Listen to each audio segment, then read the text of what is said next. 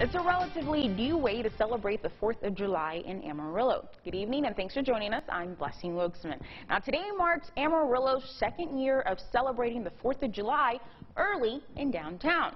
KAMR Local 4's Kaylee Green was there and gives us a glimpse into the Route 66 celebration. That's tonight's top story.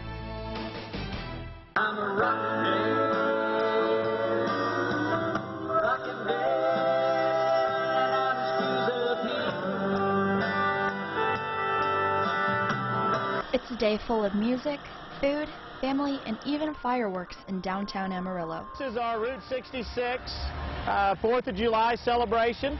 Um, we're excited to be downtown. You know, it's always, it's our second year. You know, uh, it's fun to bring people downtown. You know, there's such excitement downtown. We're just, we're excited to be able to do this again this year.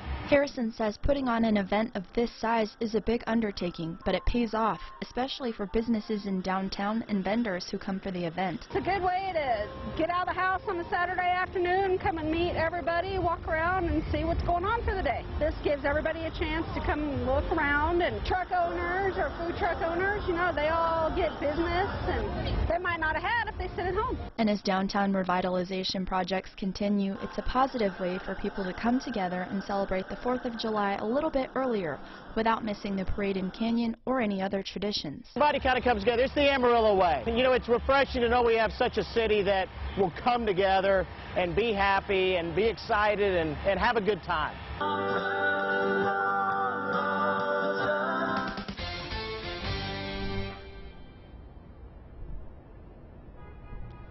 So we're here in downtown with, we wanted to show you a live look at some of the fireworks as the Route 66 celebration wraps up.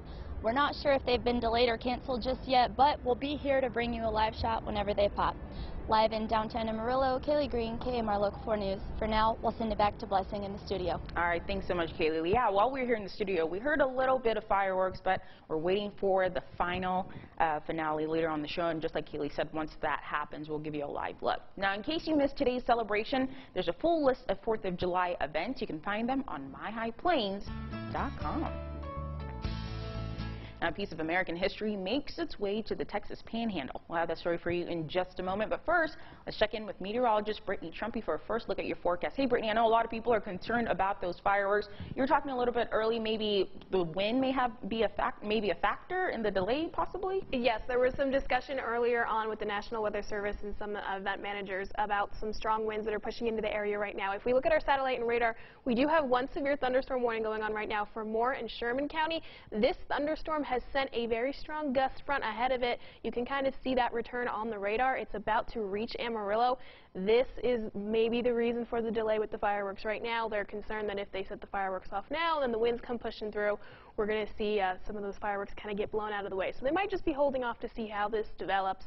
I'll have more information about the storms and your full forecast coming up in just a little bit, but for right now, I'll send it back to you. All right, thanks so much, Brittany. We're all waiting for that grand finale. All right, so two people are in the hospital after a Friday night wreck. One of the drivers has life-threatening injuries.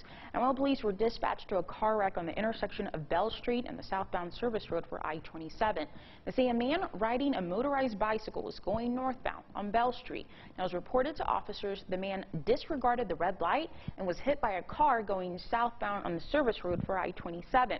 Now, police say the man was taken to the hospital with life-threatening injuries, while the driver who hit him has non-life-threatening injuries. Now,